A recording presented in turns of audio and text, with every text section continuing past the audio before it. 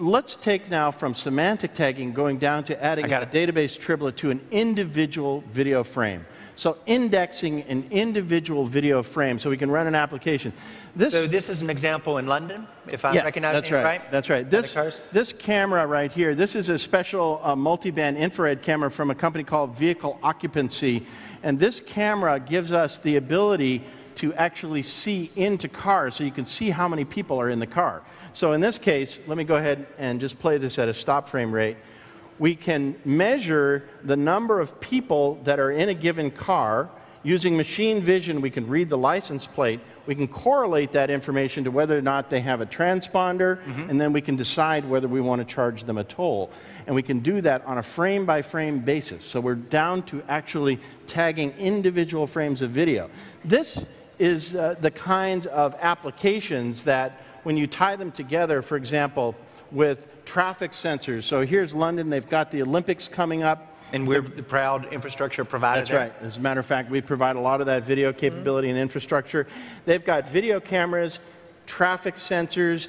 They're looking at license plate. They're reading. This is the kind of big data problem we've been hearing about at the conference this week. Yes. That only Cisco's UCS technology, eliminating those bottlenecks of memory and bandwidth, that, that really are needed to apply to this kind of application. And that's what Larry talked a little bit on Sunday night, that's too, right. in terms that's of big right. data. That's so right. what you're really saying, Jim, is that it's an architectural play where you tie together yeah. the pieces. This is a smart connected community. You just use the example of safety and security and traffic flow. That's right. The same thing can apply to education or other things. Now, John, we've brought with us uh, an architectural diagram just to show the, the complexity here of being able to pull these all together because it's not just the high performance, but you need to be able to do that with the security and the mobility and the video capabilities that we can bring all together through Cisco technology.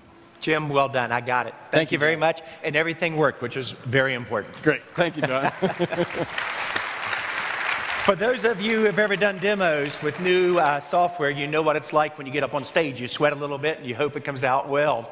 But it does speak to how quickly this has moved. And while you might say what you just saw with video, collaboration, the importance of how cloud feeds into it is very complex, this is kind of baby steps versus what you'll see in the future. But it is the ability to go back to that central theme. It's all about capturing market transitions.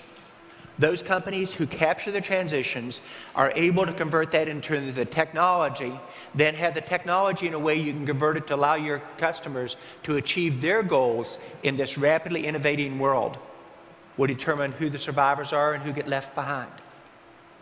I started off my discussion by saying just one thing. If I did my job really well, I will have made you a little bit uncomfortable with some of the changes we're talking about, and if you walk away with just one thing that you'll be doing differently when you go back to work in your individual customer accounts a week from now, I've accomplished my goal.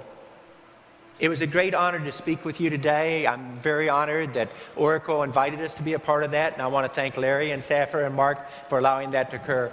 And thank you very much for your time today. Have a great day, a great conference. Thank you. Thank you.